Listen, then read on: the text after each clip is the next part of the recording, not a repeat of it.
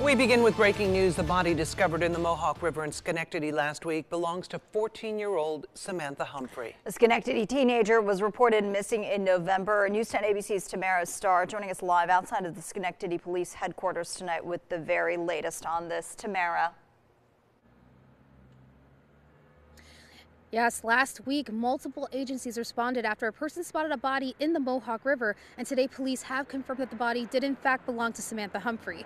Humphrey was last reported missing on November 26, and police say there are security cameras that showed Humphrey approaching the Front Street pool and a railroad bridge that crosses the Mohawk River. But then there are no more images of her leaving the area. Last month, three sets of DNA were detected on a jacket, which was discovered in the area where she was last seen. Samantha Humphreys, along with two sets of DNA of unidentified males. Now, police say that they have notified the family, but they are still continuing the investigation on the cause of her death and are waiting for more autopsy results. We tried reaching out to Samantha Humphrey's family, but have yet heard no comment from them.